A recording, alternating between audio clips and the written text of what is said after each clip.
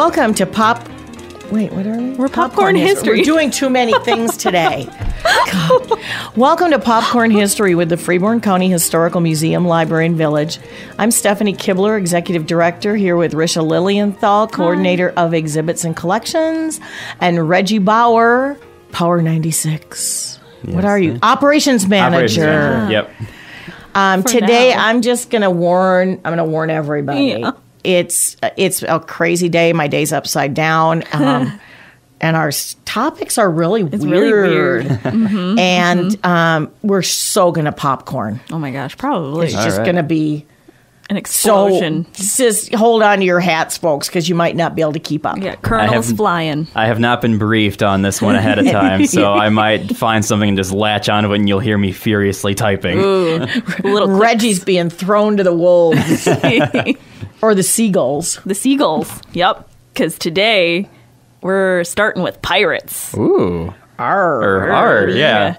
Yeah, so we have pirates that relate to Freeborn County. Did you know? Did not Did you know, know? so I'm curious. So specifically, pirates from Pittsburgh. The Pirates of Geneva. Sorry. Pirates of Geneva Lake. Why not? Oh, that'd be fun.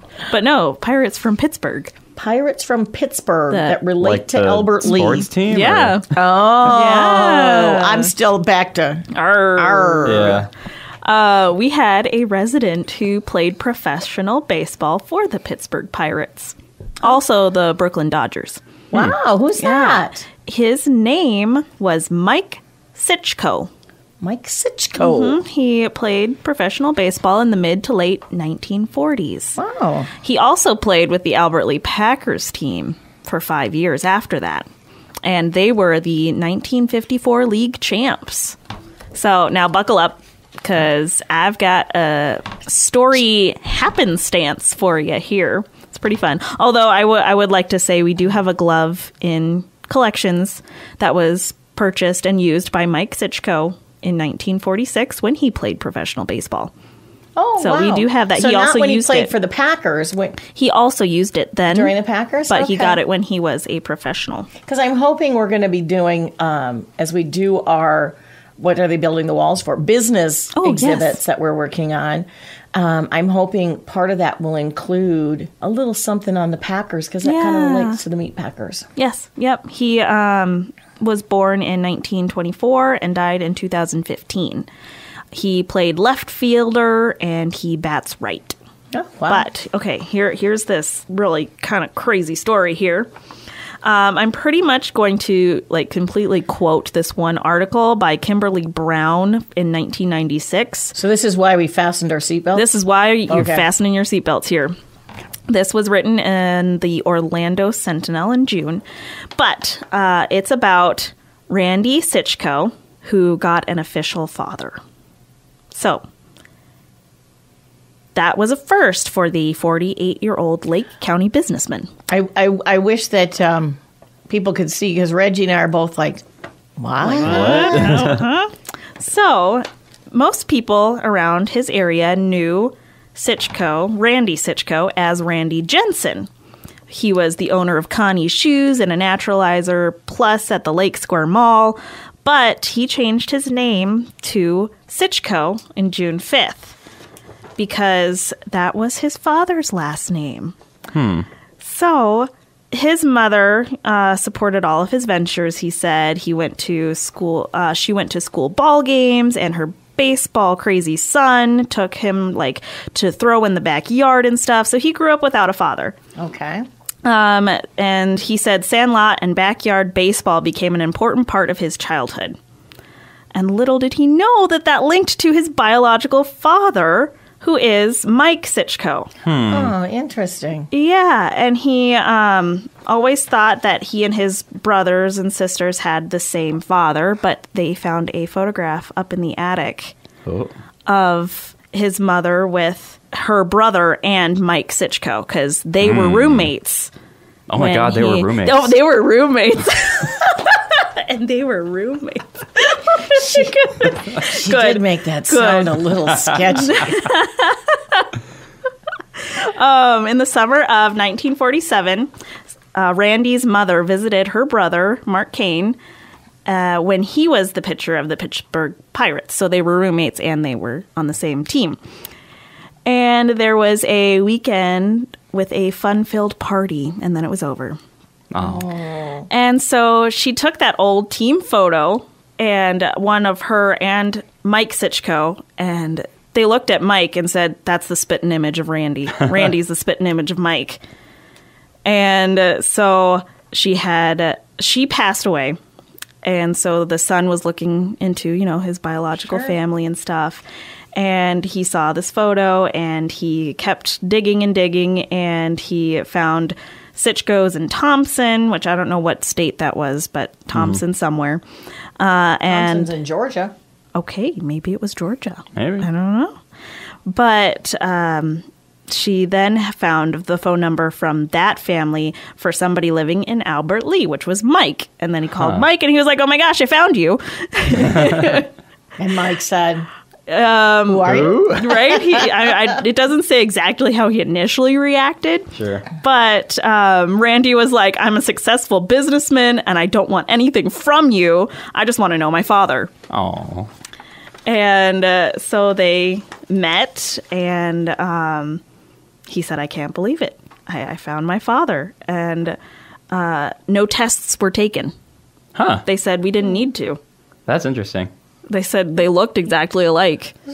Genetics sometimes Yeah. are I pretty suppose powerful. sometimes you can tell.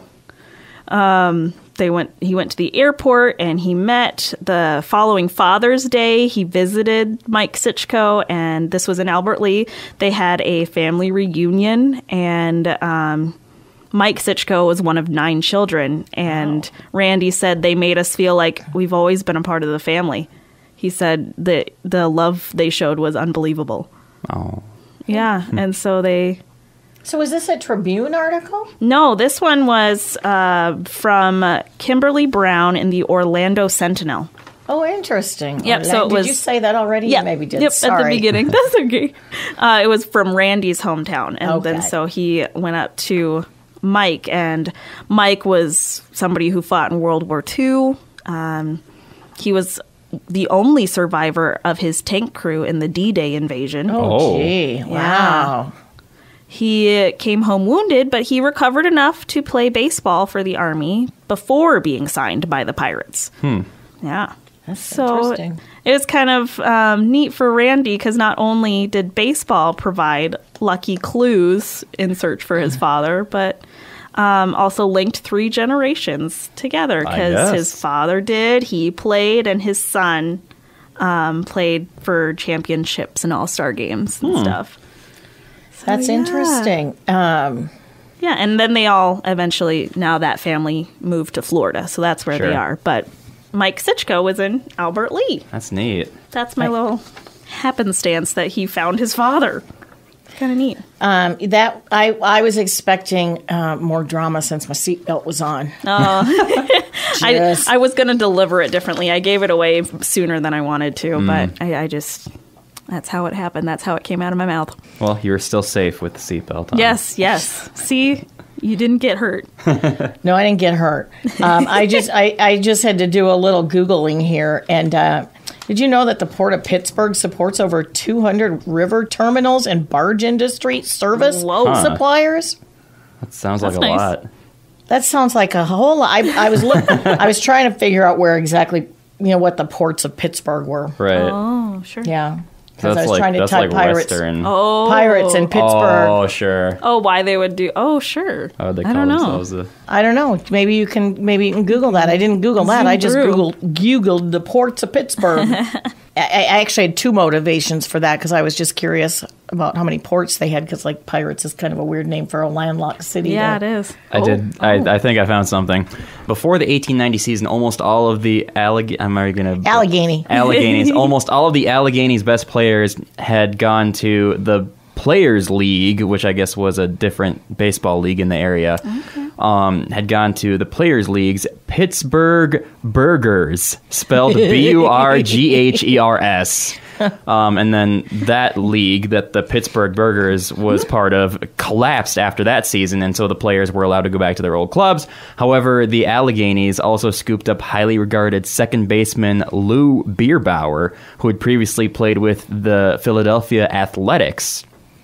And since um, the Athletics had failed to include Bierbauer on their reserve list, they protested, you know, this move. And in an official complaint, um, an official for one of these other leagues had claimed the Allegheny signing of Bierbauer as piratical. Oh, that's an awesome piece of information. So they basically not quite stole, but kind of stole a player for their team, and then I guess the piratical. Um, Fun word. the incident uh, quickly accelerated into a schism between the leagues. It says here that contributed to the demise of the AA, which was the name of this other league, uh, the American Association. Um, although the Alleghenies were never found guilty of wrongdoing, their allegedly piratical act gained them the occasional nickname Pirates starting in 1891, and then within a few years the nickname caught on with Pittsburgh newspapers, and it was first acknowledged on the team's uniforms in 1912. That's awesome. I like that. The words that were being thrown out. I love those. The piratical Are we on? Are we on Wikipedia? ism. Yes. I love Wikipedia. I do too. Demise. Just yes. Um, I, so my, I did have, I had an ulterior motive because I was trying to tie Pittsburgh Pirates shipwrecking. yeah. I mean, pirates I do mean, sail like you know, ships. like I know, right? Because I'm guessing pirates came in to the Great Lakes at one point. That's a because you can yeah. come in. You can get there all the way from the Atlantic. You have to Yes. start way up northeast, but you can get in there. Yes, gosh. because the um, oh my gosh, what do they call? There's a there's a group of old ships that come through and go into harbor at Lake Michigan, and that's the Oh. route they take. They come up the East Coast and go through the go through the Great Lakes. Wow. And what made me think of that was um, the legend of the Edmund Fitzgerald. Yeah, which, as of the day that we're recording, is the 46 year anniversary. Exactly. What? It is. And it remains the most mysterious and controversial of all shipwreck tales heard around the Great Lakes. I haven't heard this. you don't know the story of the don't Edmund this. Fitzgerald? Oh man, No. this is like a local thing. Oh Again, if they could see Reggie and my faces, they'd be for a we, gas. lear- we learned about this in middle school. Oh. Elementary school, I'm sure of it. The song, The Wreck of the Yeah. Oh my Edmund gosh, there's a Fitzgerald. we song. pl- we're playing that on, on the station tonight Oh, around I around love the time it. that it Aw. That it sank, because it sank like seven seven fifteen or so at night. So I'm- Yeah. Whoa. I'm like in 1975, so I was like Yep. 12. So I would, would have been middle school. Oh, wait, You're this right. I happened in 1975. The sinking did, yeah. Oh, I it it was. Um, oh, did I not take down? I didn't mark down when when the ship first sailed, but it was a sturdy. She was a sturdy vessel.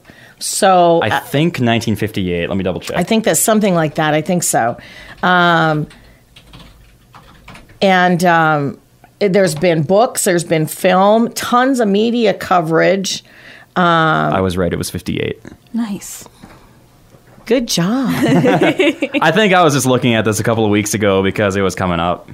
Sure. Yeah, and that I looked at it today and I forgot to make a note of it for some reason. But um, the entire crew of 29 men um, died on Lake Superior, lost the Oh. entire crew. Yep. 17 miles north northwest of Whitefish Point, Michigan. Mm-hmm. It actually happens to be, Whitefish is actually also the home to the Great Lakes Shipwreck Museum. If anybody's curious, I've heard it's a great place to visit. Cool. They've conducted three underwater expeditions to the wreck. And I'm almost wondering if there hasn't been a fourth one done because I thought there was some talk not many years ago that they found some pieces of it. Oh. But I, I could be making that up. I Let's try not to do that, but once in a while. Just, Right. Um, in March 2005, the Whitefish Point Preservation Society accused the Great Lakes Shipwreck Historical Society of conducting an unauthorized dive to the Edmund Yeah. Fitzgerald. Although the director of the GLSHS uh, admitted to conducting a sonar scan of the wreck in 2002, he denied such a survey required a license at the time that it was carried out.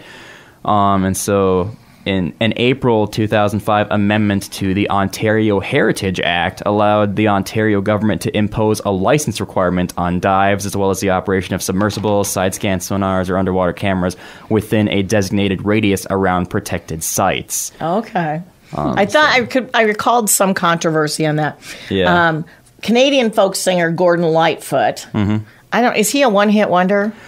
No, He's got a couple other things kind out of. there. That's definitely the one that he's the most known for. But he also has another one that we actually, when we were still kind of very uh, fluid with our format here, um, he did have another one called Sundown that we That's played right. a little bit. That's right.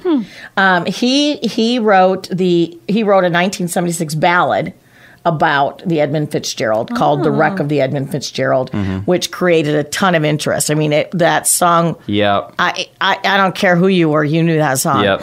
And It's a little spooky too. It's well, it, the lyrics are great, and so, but my favorite is the first. I like the first verse. yeah.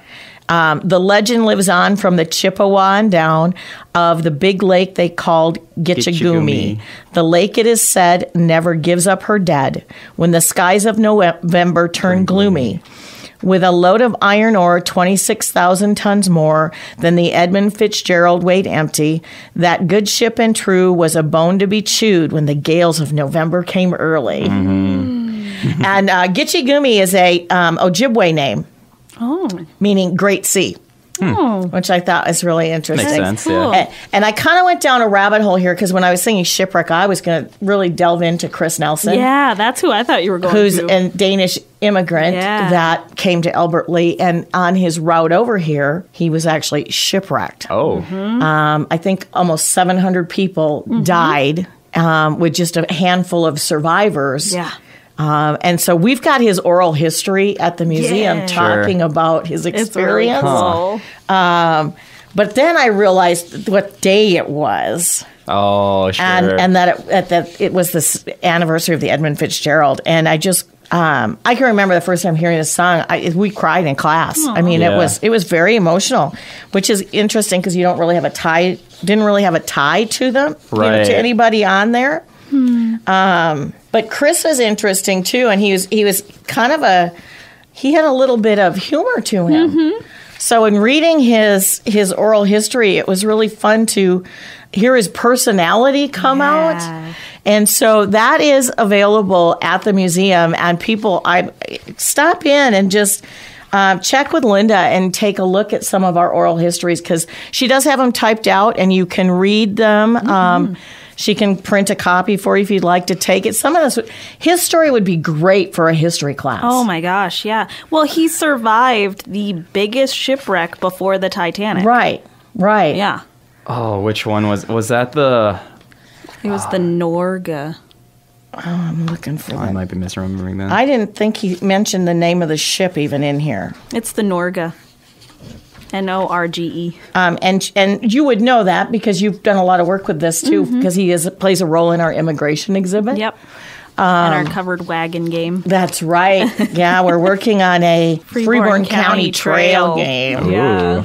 Yeah, the Oregon Trail. Yeah. yeah, it's Yeah. it'll be fun. So hopefully, hopefully in the next month or so we'll Yeah. have that out too. But um, yeah, I just I thought that was just a really Chris's story is really interesting. But I had to go to the Edmund Fitzgerald and the um, Gales of November coming early. Yeah. Well, and it is a gloomy sky in November today. It is Yeah, it is. actually. It really is. You read that line, and I was like, gasp. You did kind of gasp. I did hear you. The um, every verse is is very. It's intense. They are intense lyrics. yeah. Yeah. Well, because you had said shipwrecks, and I automatically thought of Chris. And then I thought about how after they shipwrecked and he was stranded on a boat with a whole bunch of other people, none of whom spoke his language, um, right. they ended up eating a seagull Huh. that they caught. Oh, that's right. Delicious. Yeah. It probably tasted like chicken. Oh my gosh, ew. Um, but then I thought about bird watching, and so uh, I decided to look into Our Lady Maud Kovenig. Kovenig, I'm guessing is how you say it. Um, she was born 1904 and died 1993.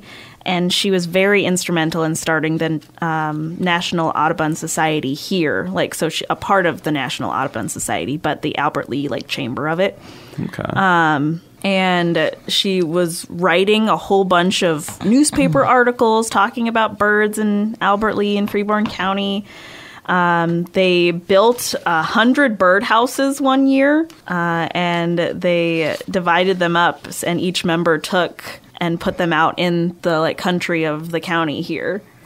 And then later they would report on how many were occupied, and that encouraged many of them to see how many of them had bluebirds. So they were looking into blue bluebirds a lot, and they had talked about blue jays as well, and how blue jays were growing. Which I'm I'm kind of like blue jays are mean. Why would you want there to be a whole bunch of them? Blue Jays are mean. They're so mean. They go after everybody. I They're get like the bullies. I get mad when they go after cardinals They go after everybody. because I love cardinals. We had a spruce tree in our yard one summer, and all the little birds were nesting in there. And all of a sudden, you could hear all this ruckus, and here's this big old blue jay going in. yeah. And all the other little birds, the chickadees, the cardinals, Yeah. every robins band together and chase that blue jay off. Oh, they know okay, he's that's the good. bully. That's good. Get Yeah. on out of here. yeah. Give him some of his own medicine.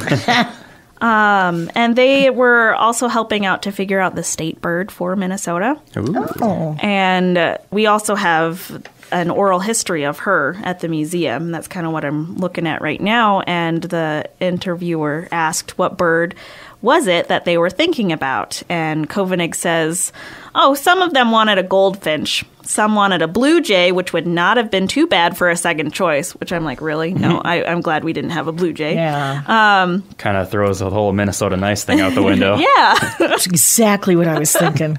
And she said when the school children were asked, they picked all of the pretty colored birds that just stay here for a little while, so not really like Minnesota birds. Sure. Uh, and then she said, We thought the loon spoke for the prettiest part of Minnesota, the lakes, the wild country. So that's why the loon Huh. is, you know, the Minnesota bird. There we go. And the loon's call is so unique. Yeah, Well, I guess all bird mm. calls are, but the loon for for some, it's You hear it and you forewarned know. Yeah.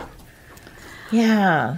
Um, Indiana is the cardinal, so that's that's one reason why I love the cardinal. Okay. And um, like the loon is probably the only other bird that I know as a state bird. Sure. because I was born here and I have a lot of family here. But growing up, I always thought the loon kind of looked a little scary because it has the red The red eyes. eyes. It does Like have it's the red pretty, eyes. but then you look right at the eyes. soul. What was the movie with Katharine Hepburn and Jimmy Stewart on Golden Pond? Oh. And she's calling the loons. I can just hear her in my head. It it cracks me up every time I see her doing it. It's just hysterical. She's it was such a great movie. If you haven't seen that, it's Sure. a great movie.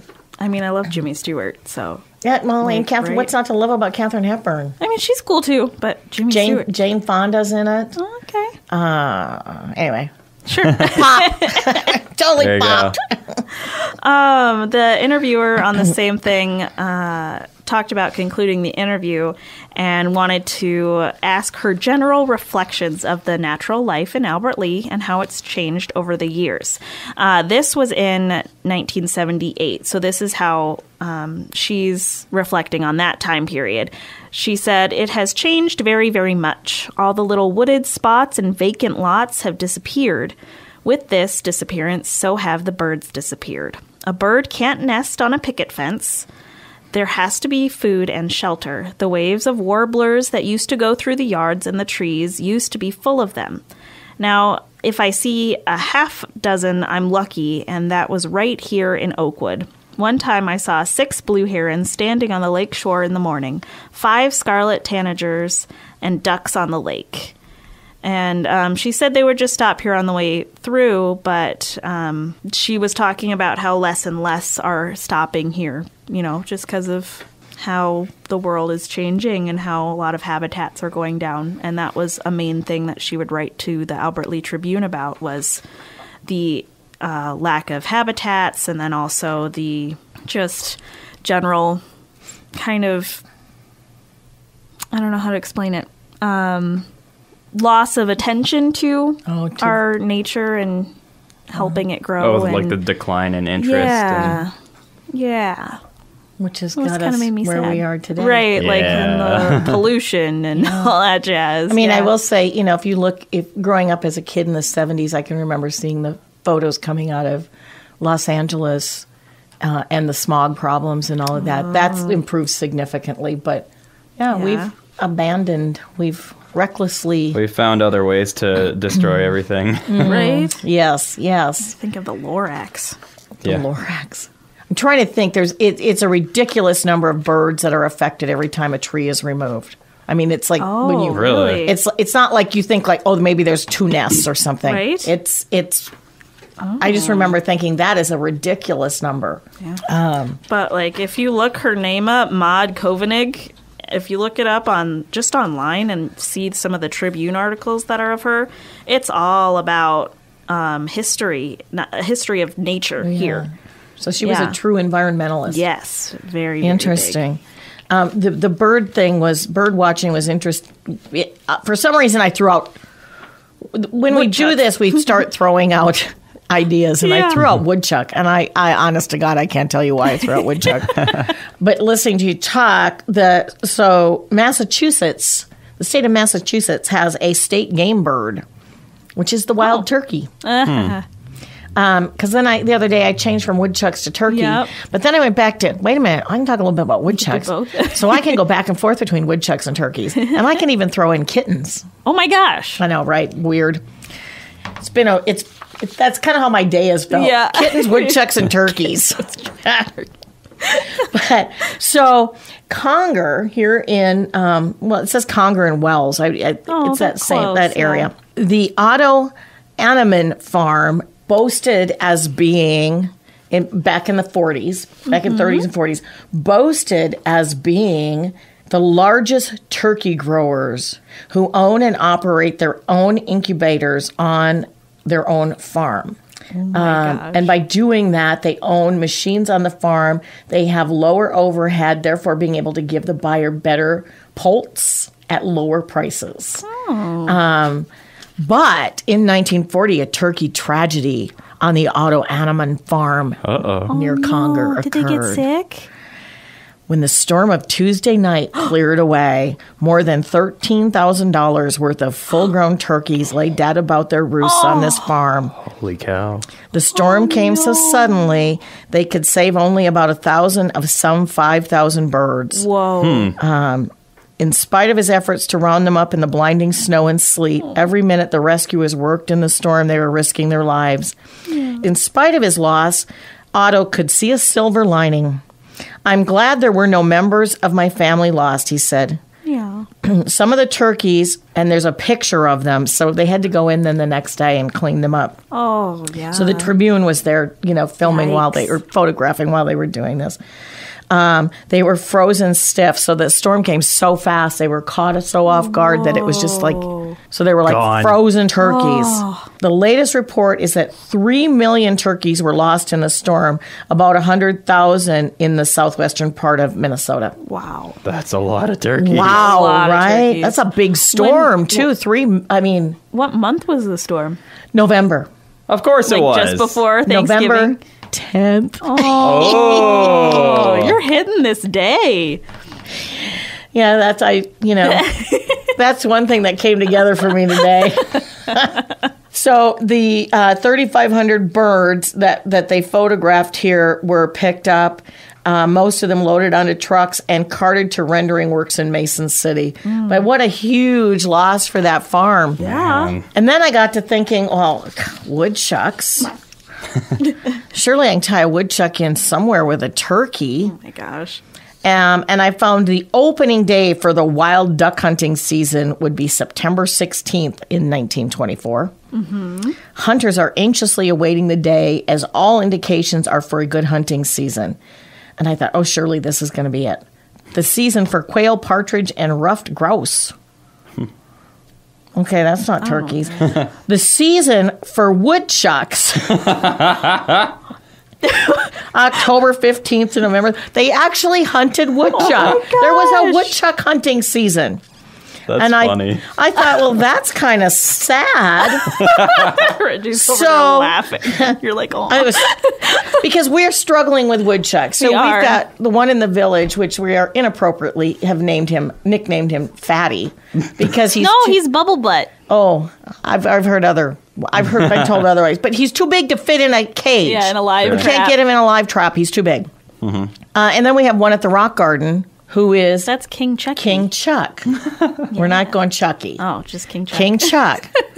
so, 12 13 1911, the Freeborn County Standard wrote Miss Wildred Wessos, who lives with her grandfather, Oscar Torreson, on a farm near Northfield, has a pet woodchuck, which oh she caught last summer and tamed. Chuck, as she calls the animal, lives in the house like one of the family. He's a perfect gentleman, Miss Wessos says, and a much nicer to have around the house than a dog or cat. How is it potty trained? What She, the- tra- she trained it. Oh my I don't know. goodness. And then my ah. final little bit of popcorn. Yeah. At the Freeborn County Fair, two little white kittens, the litter of puppies, the owl, and woodchuck excited interest in the poultry department. Oh my goodness. I would imagine. I feel like that pet woodchuck needs to be like a children's story. Do you think woodchucks eat popcorn? Probably.